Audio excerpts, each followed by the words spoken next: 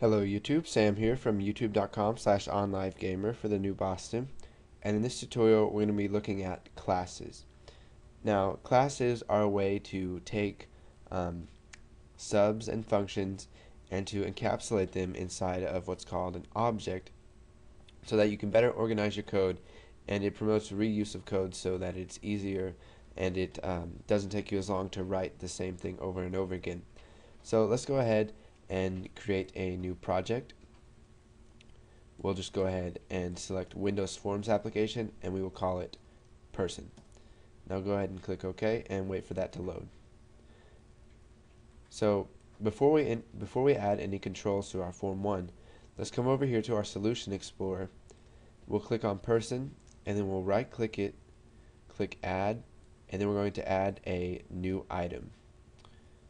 Now I'll shrink this down some. Now go ahead and select a class right here and we're going to name our class person.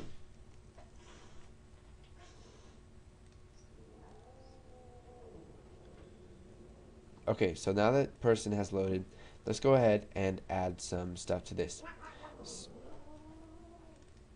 So we will add a couple uh, variables. So let's use the keyword public so that we can see those in our form1.vb class. So we'll do public weight as double. And we'll just go ahead and set that equal to let's say uh, 8 pounds. So if the person was just born. So let's do public um, money as double. And we'll just let them start off with a $100 and then we'll go ahead and um, let's leave it at that. Okay, so now let's create some um, functions and methods that we can use. So we'll type public sub and then we will just type um, eat and let's say we'll, we'll uh, have them pass how many pounds of food they want them to eat so we'll type by val pounds as integer. Or let's just do a double. And we will type weight plus equals and then we'll do pounds. And now we will do public sub exercise and we will by val the time. So by val time as double and so whenever the exercise we'll do weight minus equals, we'll just do like time. So let's say they work out one hour. Uh, we'll just do divided by 10. Now, I didn't do, do much thinking on the calculations for this. I'm just doing it for the sake of the tutorial. So then we'll do public sub work. And then we will by val um, hours as double.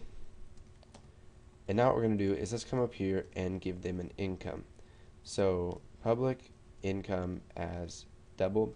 And let's just pay them minimum wage to start off with. So now what we're going to do is we're going to type um, money plus equals hours times income. So however many hours they work, it's going to multiply that by their income and, and add it to money. Now, when we create our person class, we have these public variables up here. But we don't really want the um, other classes to be able to directly access those variables. So let's just go ahead and make those private. So we'll do private money and private weight. So now uh, no other class can see these variables. And now let's make some functions that will let other classes get these variables, but it won't let them change it. So we'll just we'll just type public sub get uh, weight. And since this is going to return a value we need to make it a function. So public function get weight as double. And we're just going to return the weight so return weight. And we will do this for each one of our variables. So we'll do money and income. So public function get money as double and we will just return money and we'll do this one more time for the income so public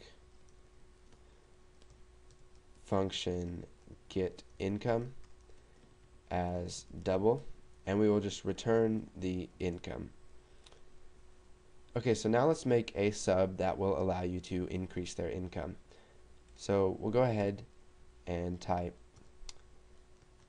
public sub increase income and we'll have them by val amount as double and so whatever amount they pass to this sub we're going to go ahead and type income plus equals amount. Okay so now that we've created our class um, if you don't have this code already typed in um, go ahead and do that. I will scroll through this. And uh, if you have any questions leave them in the comments. Uh, let me zoom in real quick. Okay so if you, need to look at this pause anytime in here so we just made a couple simple subs and functions and we have um, some private variables that we're going to be using so now that we've created our class we need to be able to use our class so um, stay tuned for the next tutorial and we're going to be talking about that uh, during that one. So thanks for watching.